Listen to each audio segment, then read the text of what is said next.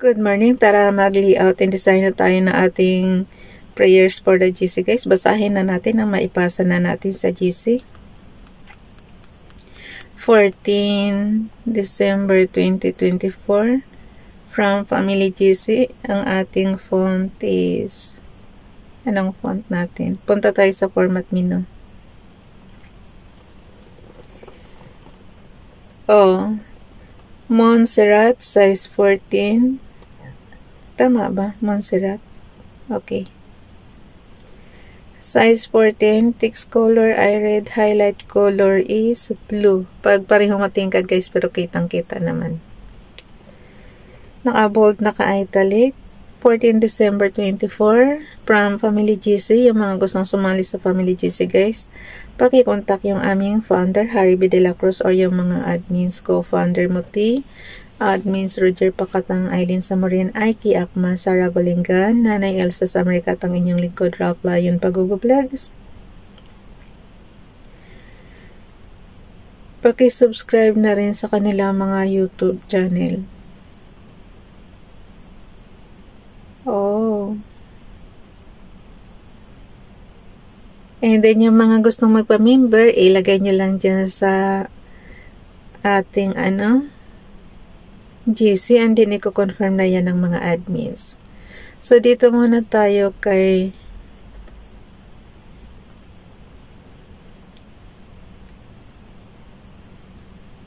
Walang ano, walang headings, pero understood nyo na to guys kay Ralph yung pag-vlogs ito.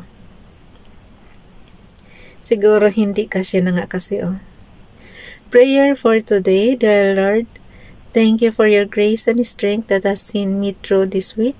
Thank you for being my refuge and fortress in times of trouble. Thank you for being the one I can always turn on and rely on. You are always so faithful to fulfill your promises. I am thankful and grateful for all you do for me. In Jesus' name I pray. Amen. Kay Princess Diane channel naman, mahaba-haba. Mahaba-haba yung kay Princess Diane channel. Father, thank you for the blessing of a family. Today, please keep the enemy at bay. Increase their faith, protect them from falling into temptation. Grant them the opportunity to shine a light in darkness and lead others to you. I ask that you, that you comfort them and that they can rest in your complete sovereignty. Amen. May inedit pa ako dyan guys. May tinanggal pa ako kasi sobrang haba nga. So, hindi naman magkakasya sa isang ano sa isang page 'di ba so iniksi may tinanggal ako diyan sa bigay ni ni Bonso Dayan ganun lang naman maglagay ng mag-design kung alam nyo naman na yung yung ano is hindi kakasya, medyo bawasan nyo lang. Ganun lang siya mag-edit. So, punta na tayo sa slides apps. Titingnan natin. Mang kung ano yung i-repost prayers natin. Open natin yung 2024 December prayers for the GC. Alam niyo, masaya na talaga ako at malapit na matapos yung taon. Pag ano, next year na, madali na lang yung ano, madali na lang yung anim na buwan. Makarelax na tayo. So, nandito na siya. Ang gawin natin, i-zoom lang natin yan para mabasa natin. Yung mga hindi mabasa, guys, mabasa, mababasa yan. Katulad nito, sobrang liliit. So, i-zoom nyo lang. You may be weak, but Jesus is strong. Build your life on the sure foundation of Jesus, for Jesus is the rock of faith, the rock of hope, the rock, and the rock of strength that you can depend on. In every situation, look for the Lord and He will take away your weaknesses, your doubts, and your fears. It is in the courage you get from His promises that you will find your strength, that you will find your faith. Then, when the storms of life come, you will be standing on the sure foundation of Jesus. The rock. So, yun na. Thank you. Poem by hindi na talaga mabasa guys. Sobrang liit na niya na. Sobrang liit na yung pinaka-footnote niya. Hindi ko alam kung anong size. Size 3 na yata yan. Pero thank you, Bunso. Ay, kay Ispe, kay Mother Ispe pala to. Thank you, Mother Ispe. Sorry. Pakipollow na lang sa kanyang Facebook account. Dito naman tayo kay Rowena Libraso. Good morning. The most powerful name I know is God. The most powerful prayerful word I know is bless. And person I wish all the best today is you. Have a wonderful and blessed day. Thank you. Yung kay Ralph naman, yung kanyang Hebrews Bible. Pagka ganyan ang writings, guys, sa Hebrews yun, nakita niya yung sa ibaba. Tehillim Psalm chapter 46 verse 1 Elohim is our refuge and strength, ever present help in Tizoros. Basahin ko nga, ma, ano lang naman, maiksi lang naman eh. Awit chapter, anong awit to? Chapter 46 verse 1. I-interpret lang natin sa ating magandang balita Biblia, guys. Chapter 46, verse 1. Oh. Ang Diyos ang ating lakas at kanlungan at handang saklolo kung may kaguluhan. So, ibig sabihin ng Thesaurus is Thesaurus is kaguluhan.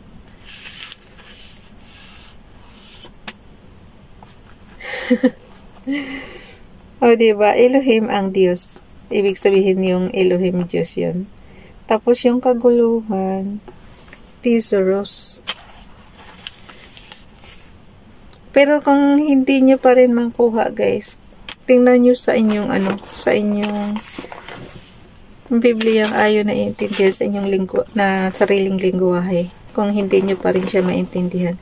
Kaya nga lagi ko sinasabi, sana, ano, hindi na lang English yung ating national language ba na pang buong daigdig. Nawa ano na lang, Hebrews na lang para matutunan natin pati yung writings nila. O, ang nagagandahan, nakukwitan kasi ako sa, ano, nakukwitan ako sa kanilang writings. Parang, ang hirap-hirap, parang hindi mo makuha ng isang taong pag-aaral to. O, diba? Pero maganda kasi nangangarap ako ng imposible ano. Kasi alam naman natin na English naman talaga ang pang national language. Pero lagi kong sinasabi, nawa Hebrews language na lang para matutunan natin tong kanilang ano, kanilang alphabet tsaka yung kanilang pananalita. Para hindi na tayo mahirapan mag-intindi sa Hebrews Bible. okay, dito naman tayo sa kay Princess Diane channel. They go from strength to strength, every one of them in Zion, appeared before God. Psalm chapter 84 verse 7. Screenshot lang yan guys. And then, ipapasa na natin, ilalagay na natin yan daw sa ating storage. So, pag alam nyo ng pantay na, katulad niyan, ano na yung buong canvas mo. Ang pagli-layout naman kasi nasa inyo naman yan kung paano nyo i-design. So, for example, ito parang flyers lang ang dating 3 columns siya.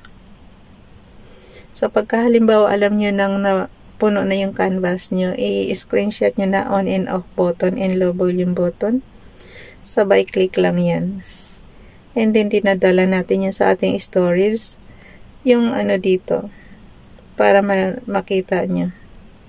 Yung ibaba ng Gmail. Ayan, nakalagay sheets siya. Sheets apps.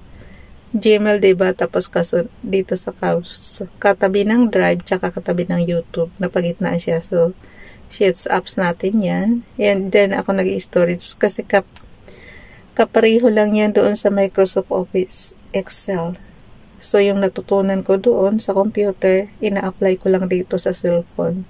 Ganon din kayo guys. Kung ano yung natutunan nyo doon, i-apply nyo lang napansin nyo, mayroon siyang rows and columns, pero sinasagasaan ko siya ng graphics. So, hindi ako yung tipong nag, uh, ano, yung nilalakihan yung width ng rows. Sa columns, okay lang maglaki kasi para ma-shoot yung graphics natin. Pero sa rows, sinasagasaan ko na siya. Kasi storage lang naman to ng ano eh. Hindi katulad yung mga numbers na ilagay mo. Kailangan talaga nakashoot siya sa bawat rows. Kasi pag mag-compute ka guys, ang pag-compute kasi is babasahin niya yung column, babasahin niya yung rows. So, pagka-computation, kailangan nyo talaga ng ano, ng by rows. Kasi hindi siya mababasa ng, compute, uh, ng computer, ng pinaka-memory nitong cellphone nyo kung hindi kung hindi siya maano for example ito. Gawa lang ako ng numbers sa dito ako sa column C. Maglagay ng 12 nasa rows 43 ako. For example lang. Tapos sa rows 46 mag ano ako?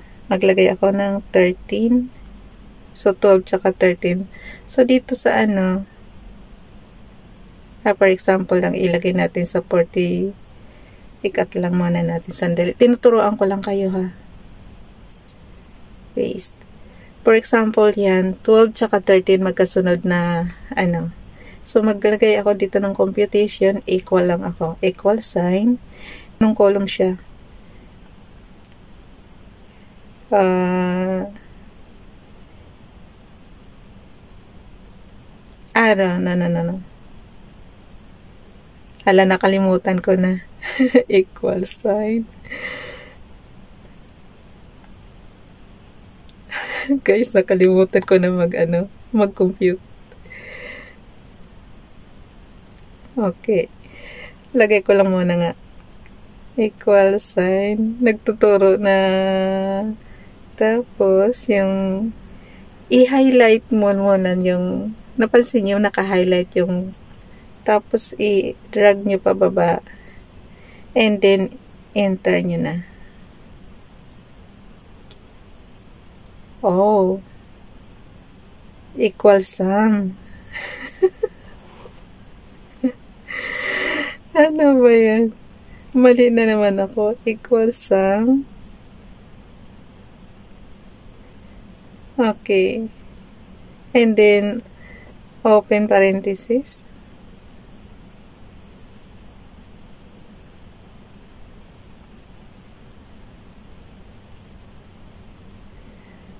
Ano nangyari sa akin, guys?